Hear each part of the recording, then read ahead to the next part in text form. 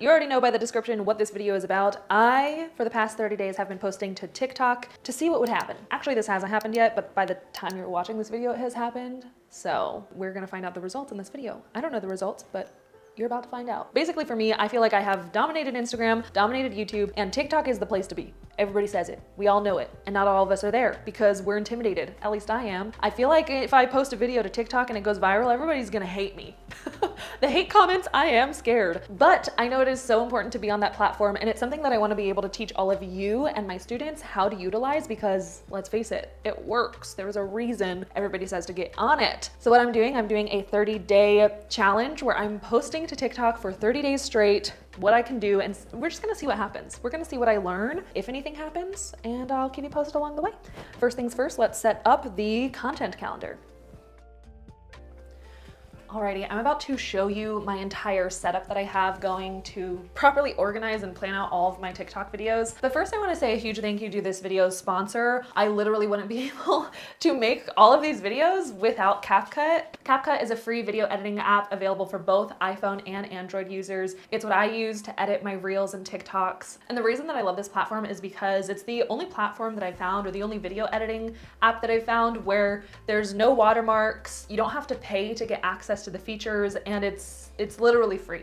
It's free. Did you hear me? It's free. F-R-E-E, free. On top of that, what's coming in really handy with this challenge is you can post your videos from CapCut directly to TikTok. So once I save a video in CapCut, it's like upload to TikTok and then you upload it, it integrates directly with TikTok and it just posts to my channel, which is super easy, makes the process seamless. So if you've been looking for a video editing app, then I will definitely leave CapCut's link down in the description below. Let's get to planning. Oh my gosh, that scared me. oh, I just opened my curtains and I forget we have a cactus outside and I thought somebody was standing there. That was terrifying. Okay, so I am planning out all of my content using Notion. This is just the easiest for me right now for this 30 day challenge. My goal is to post one TikTok video every single day. And this is kind of how I have it set up right now. Top half, this is the month that I will be posting, starting to assign content ideas to specific days. This is my general posting schedule. And then down at the bottom, these are content ideas or brain dumps. If I run into an audio where I'm like, oh my gosh, I need to record this video. I'm brain dumping all the stuff here. And then once I have it brain dumped, I drag it to the top to assign it to a specific day. As of the beginning of this challenge, I have 1,100 something followers. I screenshotted it here so you can know the exact number. I've been posting for about a week now and my growth is slow. So we're about 1,290-ish right now. It's been a week and I'm thinking I'm going to have to step up how often I'm posting. My strategy at the beginning was to post once a day. Today is Valentine's Day. Happy Valentine's Day. you would think I would not be working, but we're not celebrating Valentine's Day today. We're celebrating it on the 18th because who celebrates on a Monday? Anywho, so today I need a post. I don't know what I'm going to post yet, but I'm gonna have to drag and drop a few ideas and start maybe doubling what I'm doing twice a day. My idea here is maybe posting, because right here you can see the type of content that each idea is. So this is educational type of content. I have four different value pillars that I rotate or try to rotate talking about. I kind of suck at it. You have entertaining, inspirational, relatable, and educational. My business is very focused on educational, but in order to appeal to other people's learning styles and different personality types, you should kind of rotate talking about all of those things. So maybe what I can start doing is doing one educational post a day because that's mostly my business, and then doubling it with maybe a funny trend that's relatable, quick voiceover, a little dance that's entertaining. So doing one educational and one inspirational, relatable, entertaining one on top of that. So we're gonna have to double up how often we're posting, starting with today. Let's get to planning.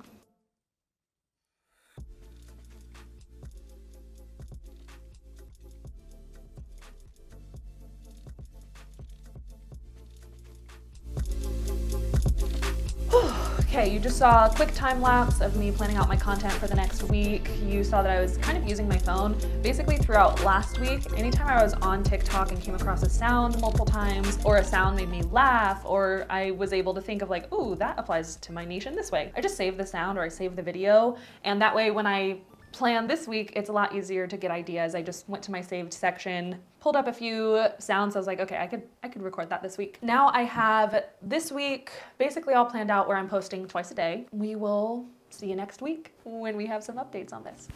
Hello everybody, we are at the halfway point of my TikTok challenge. And uh, let's see, halfway point, we're at about 2,600 followers, 20, almost 2,700 followers. It's a Monday morning and I've learned a lot so far. We're halfway through the journey, and I've had a few realizations. First realization is last time you saw me, I said that I wanted to try posting twice a day. I think that's what I said to see if I could bump up how quickly we grow. And last week I posted twice, four out of three of the days of the week. Did that make sense? Four times last week, I posted twice in a day. The other days, I only posted once. But this has been helpful because a few of the posts from last week have gotten some traction. They've they started to go off not viral, but way more than my typical view count. I think my average views were between 600 plays and a few videos got over 10,000 or even 4,000 is a big deal for me. So a few of them got a couple thousand plays, which is huge. So that is a strategy that I'm going to continue to do throughout the, the rest of the challenge. See if I could post two times a day. See if I could post three times a day. That's what a lot of people say. So I'm just gonna try it and see what happens. Now, I will say I have learned a lot from the past 14, 15 days. The first thing that I learned is that I probably shouldn't teach Instagram tips on TikTok. I know that sounds silly, but I'm realizing a lot of people are on TikTok because they've left Instagram. And this is fine. This is actually better I love this so much more because on YouTube, I feel like I've kind of put myself in a box where I can only talk about Instagram because that's the only content that will be successful on my YouTube channel. But in reality, like I don't want to be known for just Instagram. I want to be known for other things as well. Like I want to teach influencers so much more than just how to grow on Instagram, you know? I want to teach them how to find their unique voice, how to embrace their uniqueness, be confident on camera, grow on multiple social media platforms, not just Instagram, how to manage and leverage brand collaborations, how to make money, how to organize your emails, how to, all the things, all the things. I want to teach so much more than just Instagram. And I think TikTok is the perfect place for me to create a name for myself other than like the Instagram girl. So I'm super excited to be starting from scratch on TikTok because I don't think I'll be talking about Instagram at all for the next few posts. I was kind of recycling some Instagram content, like here's some Reels transitions, but what I'm realizing is moving forward, I wanna focus on like brand collaborations and influencer tips and the behind the scenes life of an influencer. So I think I'm gonna use that to my advantage or that unique positioning and niche instead of the Instagram niche. And I'm really excited about it because it's just, that's something I'm super passionate about. And I don't have a platform where people come to me other than for Instagram tips. So yes, moving forward over the next two weeks, I would like to post twice a day. Will I always do it? Probably not because you know, we're gonna be realistic with ourselves. If we can't do it twice a day, that's fine no pressure. But what I will challenge myself to do is I want to every single day reply to a comment from a previous video. And I think this has been something that it has helped nurture my community on TikTok and grow my platform is taking people's comments from like a previous video and replying to it as a video so I can elaborate more and explain more and show more behind the scenes. And I think this will show my audience that I'm engaged and that I'm taking the time to respond to them, not just with a comment, but with a video tutorial. So that's something that I wanna challenge myself to integrate over the next few days, or at least the next the next part of the challenge, I guess. So every single day, I'm going to reply to a comment with one video, and then the other video will probably be like a trendy or a trend or a voiceover, you know, something fun, lighthearted. That's what I'll be doing. So that's the strategy. I hope that this is fun.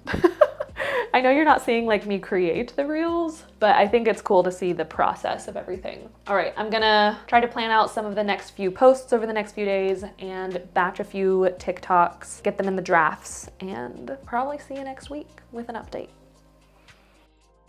Hello, hello everyone.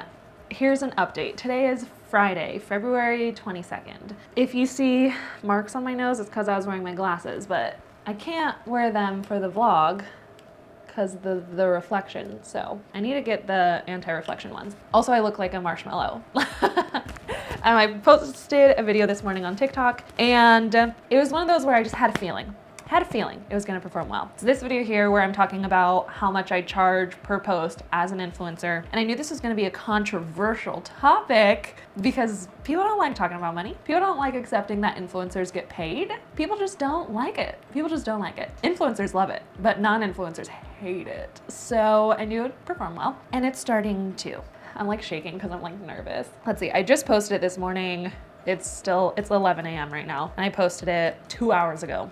it has 11,000 plays already. I'm starting to get some comments. Some are like, woo, love this. Some are, you're a liar, you suck. Yeah, right, brands would never pay that much. And I'm like, I have receipts, literally, like they pay me I have receipts. So I'm just documenting this because it's part of the vlog. But mm-hmm. my strategy here, which like I've heard about is if you notice a video starting to take off, reply to the comments section of that video with other videos so people can like start binging your content. So today wasn't going to be a content day, but it might be a content day, even though I haven't, I need to do my makeup. Or I could just keep it raw organic like this. So one comment that I definitely want to reply to is how do I start to become an influencer in general? That's a great one to reply to as a video. Another one that I'd love to reply to in video form is negotiation. Somebody said people post about how to reach out to brands, but not when it comes to the back and forth of negotiation and how to converse with a brand. I'd love this vid. So showing like a how to negotiate video would be cool. How can I turn a gifted collab into a paid one? Great question. That could be a video. Oh, what does a Instagram story bundle consist of and what is white listing slash black listing? Also, a lot of people are asking questions because in the comment section I said all prices can change depending on things like usage rights, white listing, black listing, turnaround time, exclusivity, all the things. So people are replying to that comment saying like, what are these things? Educate me. So there's a lot of video ideas here. And so now I just have to conceptualize each video response and how to keep each one entertaining. Maybe like one I could be like doing my makeup while talking to the phone. The other one just like sit down casual. Don't know yet. But yeah, now I gotta get to creating, get to scripting. I'm like, I don't know why I'm shaking. I'm nervous because I am getting hate. Like someone just said, nah, this is a lie. And I kind of want to reply with like screenshots of my income showing like, mm, actually got paid this. So yeah, here we go. Hello. You are getting a phone vlog from me post shower me in all of my glory. Last time you saw me, I was like so stoked. My TikTok was blowing up like, ah, let me make videos for it, eh, you know? And it's been a few days. It's actually been like five days and it's still blowing up. It's over a million plays right now. But there's like this beauty of going viral that everybody strives for of like, oh my gosh, I got so many followers. Oh my gosh, like literally I'm at 13,000 followers and that's what everybody thinks going viral is all about. But the TikTok algorithm is so different from Instagram because TikTok really does push the For You page where they're like, hey, let's push this who won't be interested in this content. like they take a gamble. Whereas with Instagram, like there's no gamble. They're like very meticulous of like, we want to make sure this person is seeing the exact meh, meh, meh. But TikTok is like, let's just see what happens. Push it to the For You page. But because of that, a lot of people come across videos that don't necessarily like the videos. And I don't know, I know that's the point of social media. I get it. I know like this is what I chose. I love what I do. Don't get me wrong. That's not what I'm saying. I'm not complaining. This isn't complaining. I'm just doing a reality check for anybody who is watching this and they have those expectations of going viral and all the fame and glory that goes with it. It's not all rainbows and sunshine because the past few days my reel or my TikTok's been blowing up and I just keep getting the same comments over and over of people who don't necessarily like my video or it offends them for whatever reason and it is exhausting. Reading the same discouraging comments over and over. Um, I'm somebody usually negativity and haters don't get to me. I'm like the more engagement the better bring it on you know? Like i've i've never had hate comments bother me. Like i typically can make a joke about it or reply to them with like a sassy remark but tiktok it's just on a whole other level where i just can't even keep up with it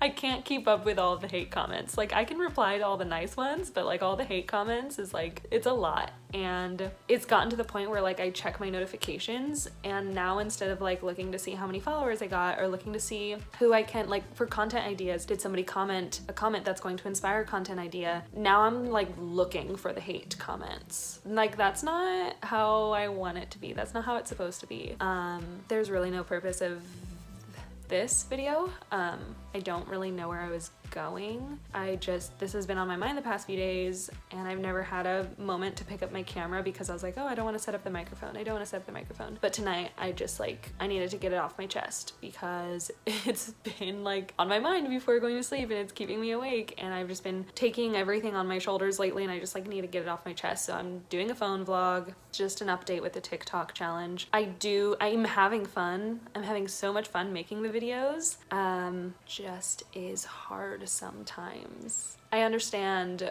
why people are intimidated of TikTok. I never posted to TikTok because this was my fear. And I understand why people give up after a certain point. I understand why people never make it super duper big because people can't handle these sorts of comments. And I don't know how to handle them yet. When I figure that out, I'll let you know. So I don't know if this was encouraging, like, hey, make a TikTok, or if it was like, don't ever do TikTok.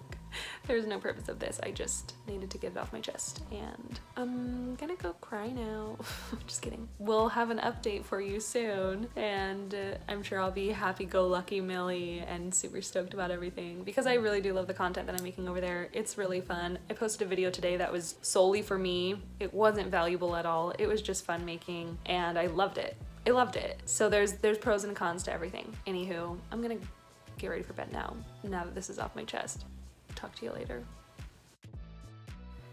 It is that time. The end of the 30 day TikTok challenge. Last time you saw me, I was in my room processing the new platform of TikTok.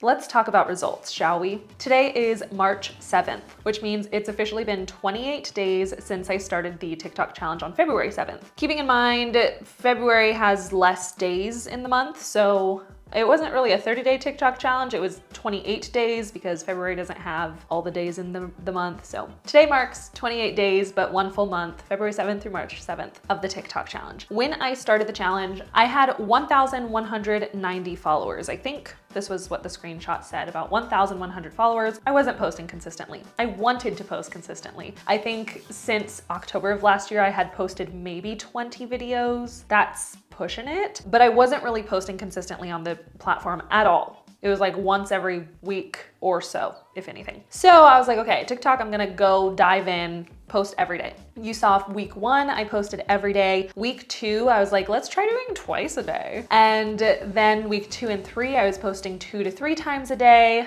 The fourth week, I kind of took a back seat because that was me processing, oh, my video's blowing up and I don't know how to handle all this criticism. So I started posting maybe once a day the final week of the challenge. Let me pull up my analytics, creator tools, analytics.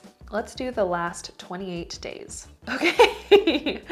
My engagement has gone up 22,000% for video views. Yeah, my engagement has gone up quite a bit. When it comes to followers, I've gained 16,000 followers in the past 28 days. You can see in this graph right here, I started posting on the 7th. I got four new followers, woohoo. Remember the 7th through the 14th, I was only posting once a week. So this first line is really the once a week. It wasn't until I started posting twice a week that the traction really started to build up and then that video blew up around here, bringing my followers up a ton see, going to content, my most trending videos here. Obviously the one that went viral, it has almost 2 million plays as of right now. And then I also have one called how to become an influencer. That one seems to be doing really well. And what I noticed is the videos where I was replying to comments with a video on the viral video. Did that make sense? Yeah, I have the viral video. People were commenting. I would reply to comments with another video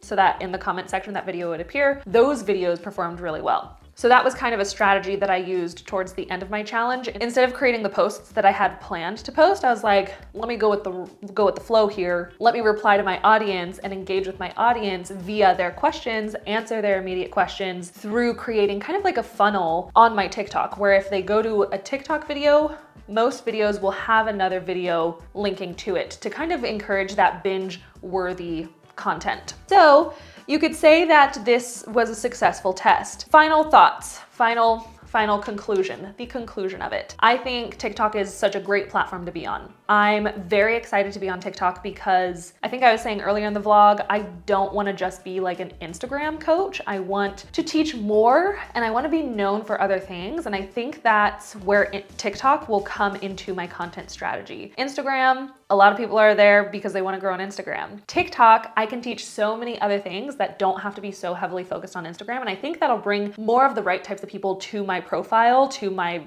business website, to my YouTube, to all of the things. So I think it's gonna create my help my business become a lot more well-rounded. So TikTok's great. If you're posting Instagram Reels, just post them to TikTok too. It's not that hard. Just recycle the content, do it. 100%. Let me first talk about the differences between Instagram and TikTok and then a few things that I learned by posting to TikTok. Main difference is the algorithm. This is kind of what I was telling my husband. I feel like the TikTok algorithm is very much like, yeah, let me push your content to everyone. Let's push your content to anyone and everyone as long as it's performing well. So that brings a lot of people to my page that might not even be interested in my page, attracting a ton more haters, like a ton more people who probably I wouldn't want them to see my videos. So there's that. Pros and cons. Pros, your videos can see more people. Cons, your videos see the people that you wouldn't want it to see and then they're mean. Instagram, the algorithm is so specific where it can be harder to get that viral sensation. Instagram's like, we want to show your video to the specific right types of people. So we're gonna make sure your content and their interests and the hashtags and your page and everything is in alignment before pushing it out to the right types of people. But when it does blow up, it's the right people. So there isn't as much hate on Instagram. Okay, first of all, I am gonna make a completely separate video on how to grow on TikTok because the strategies are kind of different for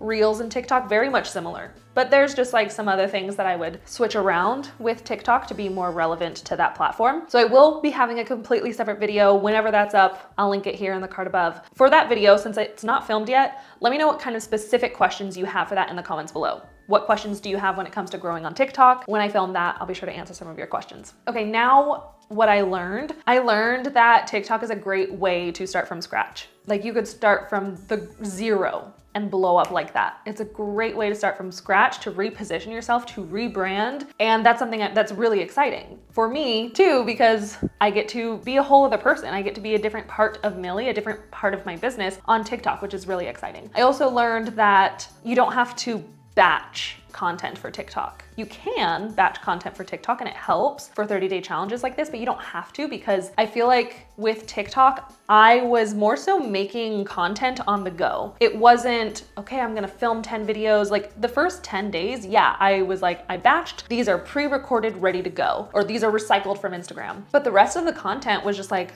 oh, I found a trend while I'm making eggs. Literally one morning I was making eggs and I was like, oh, I have this audio that I wanna record well, while the eggs are cooking, let me just like record da da da da da. Like I did a voiceover lip syncing thing with an audio, saved it in my drafts. Like it was very much, oh, this sound is trending. Let me just quickly record my lip syncing. I'll add text to it later. I'll add an idea to it later. So a lot of the videos that I was making were very much on the go, more casual, kind of like Instagram stories, talking to your audience, answering questions, kind of that's the that's the best way to build your community on TikTok. It's very much replying to comments, via text and replying to comments via video to give more information and to give more insight because you're limited on those character accounts. Whereas in Instagram, you can really build community through Instagram stories and DMs. Like that's the best way to talk to your people. DMs, Instagram stories, comment section, so much, so many interactive features. TikTok, the only way is posting videos. Like that's how you engage with your community is through just posting and posting and posting. Final bonuses,